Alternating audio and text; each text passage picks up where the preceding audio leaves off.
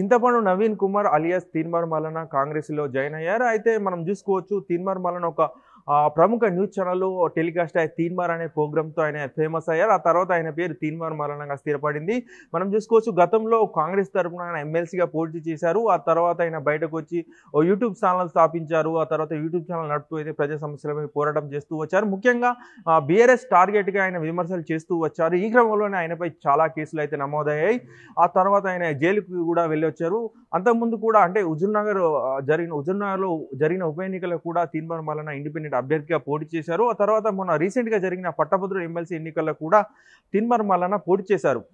ఈ క్రమంలోనే అయితే ఆయన ఈసారి కూడా మేడ్చల్ నుంచి స్వతంత్ర అంటే స్వాతంత్ర అభ్యర్థిగా అంటే ఇండిపెండెంట్గా బరిలోకి దిగుతారని చెప్పేసి ఆయన పేర్కొన్నారు. మంత్రి మల్లారెడ్డిని ఓడగొడతారని చెప్పేసి ఆయన పలుమార్లు అయితే తన యూట్యూబ్ ఛానల్ వేదికగా అయితే చాలాసార్లు అయితే చెప్పారు.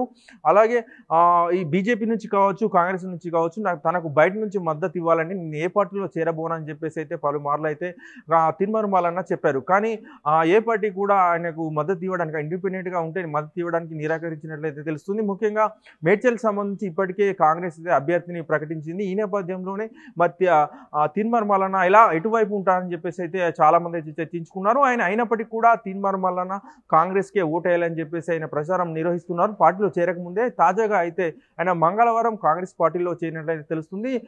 మాణిక్ అంటే మన తె- తెలంగాణ కాంగ్రెస్ వ్యవహారాల ఇన్ఛార్జ్ సమక్షంలో అయితే తిన్మర్ మల్లన్న కాంగ్రెస్ కండువా కప్పుకున్నారు. అయితే ఆయనకి ఏదైనా టికెట్ వస్తుందని చెప్పేసి అయితే మనం నిన్నటి వరకు అయితే వెయిట్ చూసాం. ఎందుకంటే నిన్న కాంగ్రెస్ అయితే మూడో జాబితా విడుదల చేసింది. ఈ జాబితాలో తీర్మార్ మల్లన్నకి ఎక్కడో చోట సెట్ చేస్తారని చెప్పేసి కామారెడ్డి కావచ్చు ఇటు కరీంనగర్ కావచ్చు ఏదో ఒక చోట టికెట్ లభించే అవకాశం ఉందని చెప్పేసి చర్చ జరిగింది. కానీ కాంగ్రెస్ తిన్మర్ మల్లన్నకి అయితే టికెట్ ఇవ్వలేదు.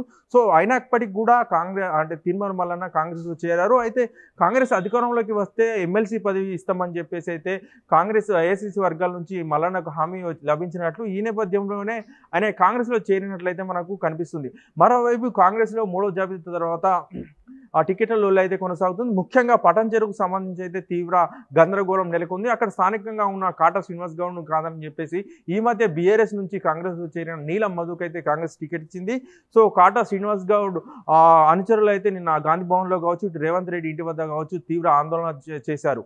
సో ప్రస్తుతానికైతే కాంగ్రెస్లో అయితే టికెట్ల లొల్లి కొనసాగుతుంది. సో మూడో జాబితా పూర్తయింది. ఇక నెక్స్ట్ ప్రకటించే ఐదు స్థానాలు మాత్రమే కాంగ్రెస్ అభ్యర్థులను ప్రకటించాల్సి ఉంది ఇందులో రెండు స్థానాలు సిపిఐకి పోగా ఇంకా మూడు స్థానాలు అభ్యర్థులు కేటాయించాల్సింది. సో కాంగ్రెస్ అయితే దాదాపు పూర్తి అయిపోయినట్లుగా మనం తెలుసుకోవచ్చు. కెమెరామ్యాన్ రాజేందర్తో శ్రీనివాస్ వన్ తెలుగు హైదరాబాద్.